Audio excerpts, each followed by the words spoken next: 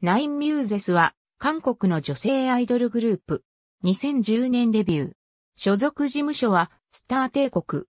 グループ名の由来はギリシャ神話に登場する9人の芸術の女神。メンバー全員が170センチメートルを超える長身のためモデルアイドル、モデルドルとも呼ばれる。2015年7月、デビュー5年目で公式ファンクラブ、マインを創立。ファンクラブ名は QMUSES is never end の略で Q、MUSES は永遠に終わらないことを意味する。2009年、歌手、モデル、女優、MC など多方面で活動していた9人のメンバーでグループ結成。当初は15名から12人選抜し、プロジェクトごとに9名をナインミューゼスとして売り出すとしていたが、紆余曲折を経て、最終的に、ジェギョン、ラナ、ピニ、イセム、ウンジ、セーラ、ミンハ、イユエリーン、ヘミの9人でデビューが決まった。なお、キョンリ、ソンアは初期メンバー選出から落選し、研究生として当時からスター帝国事務所に在籍していた。2010年3月25日、所属事務所がジェギョン、ラナ、ピニ、イセム、ウンジ、セーラ、イユエリーン、ミンハ、ヘミの9人組グループナインミューゼスの結成をアナウンス。2010年5月、ソウルオリンピックスタジアムで開催された K-POP ドリームコンサート2010に出演。韓国ドラマケンジプリンセス OST のギブメを披露。2010年8月12日、デビュー曲ノープラボーイを収録したシングルレッツハブ A パーティーをリリースし、正式デビュー。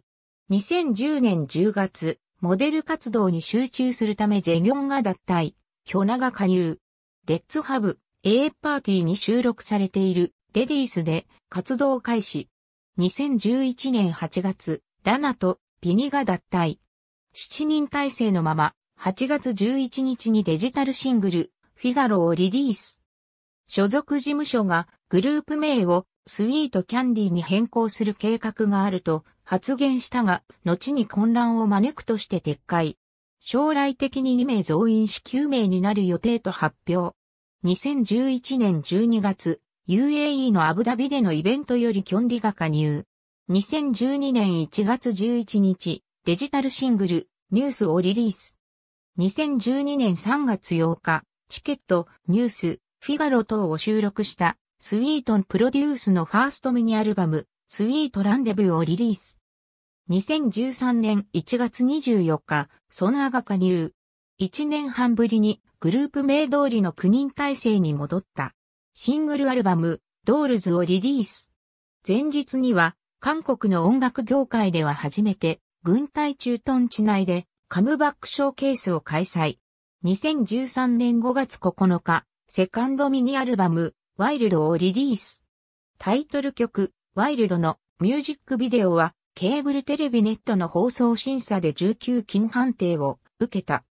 2013年10月14日、ガンが収録され、デビューから3年2ヶ月を要して発表した初のフルアルバム、プリマドンナをリリース。これに先立ち10月9日、ファン250人が参加した軽軌道洋州市功績面のキツツキ研修員で、秋の遠足をコンセプトにしたファンミーティングを開催。2013年12月4日、25金をコンセプトにしたシングル、グルーをリリース。2014年1月29日、イセムとウンジがグループを卒業。二人とも事務所には残留しソロ活動としてスタート。6月23日、セーラが専属契約終了に伴い卒業。2014年9月3日、キョンリ、 ZE:A ケビン、スター帝国の新人ソジンからなる3人組プロジェクト、混成ユニット、ナスティナスティがデジタルシングル、ノックをリリース。2014年9月25日、デビューまでのドキュメンタリー映画、ナインミューゼス、彼女たちのサバイバルが公開。イギリス BBC で47分のダイジェストも放映される。2014年10月20日、ヒョナがフィーチャリングに参加したインディーズバンドファーストミニアルバム20のサブタイトル曲11が公開。ヒョナとスムサルのファンデヒョンは高校の同級生という縁がある。2014年11月1日、ナインミューゼスの YouTube 公式チャンネルを通じて、リアリティ番組 QMUSES キャストを公開。2014年11月24日、ヒョナがエッセイ集、サランの出版と、その OST として自作曲を公開。2015年1月12日、ソジンとクムジョが加入。ソジンは、ナスティーナスティのメンバーとして2014年9月にデビューし、クムジョは2014年12月に VOS のデジタルシングルのミュージックビデオに出演。1月21日、8人体制でソウル広津区高層堂メロンヤックスホールでショーケースを開催。2015年1月23日、サードミニアルバム、ドラマをリリース。2015年7月2日、初の写真集が収録された初のスペシャルサマーアルバム、ホースミニアルバム、QMUSES、S、S エディションをリリース。ソウル江南区生誕堂のクラブエリでショーケースを開催。2015年11月24日、フィフスミニアルバム、ロストをリリース。2015年12月19日、MBC、小音楽中心収録後ミニファンミーティングを開催し、ドラマ、ハートロッカー、スリープレスナイトと連続していた活動終了を報告。2016年2月19日、子供大公演、ウェイポップホールでデビュー6年で初の単独コンサート、ミューズ・イン・ザ・シティを開催。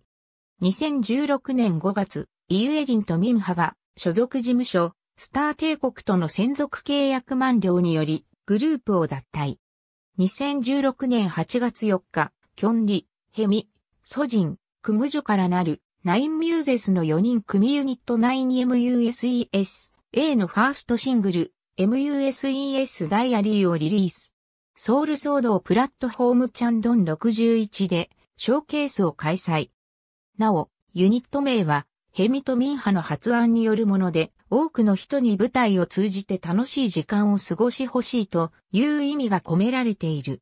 2016年9月30日、ヒョナが所属事務所、スター帝国との専属契約満了により、グループを脱退。2017年5月17日、キョンリがプロデュースチームフォープラの2017年4番目のシングルプロジェクトに参加し、トークアバウト You をリリース。2017年6月19日、シックススミニアルバム、MUSES ダイアリーパート2、アイデンティティをリリース。ソウル朝浦区西橋道、ES24 ムーブホールでショーケースを開催。ソンアは、所属事務所に DJ と音楽の勉強に集中したいという意思を伝え活動を中断。グループは4人体制で活動。2017年6月23日、契約満了を迎えるへ、ミが、スター帝国と再契約を締結。ナインミュージスのメンバーが、所属事務所と再契約したのは、ヘミが初。2017年7月29日、ソウル達山区間南道のブルースクエアサムスンカードホールで2度目の単独コンサート RE マインを開催。2017年8月3日、ナインミューゼス初のメンバー自身が作詞を手掛けたタイトル曲ラブシティを収録したリパッケージアルバム MUSES ダイアリーパート3ラブシティをリリース。2018年2月、キョンリガスター帝国と再契約を締結。2018年5月8日、5月20日に、ソンヤが DJ ダックと結婚をすることを発表。同時に旧ミューゼスを脱退し DJ 活動に専念することを発表。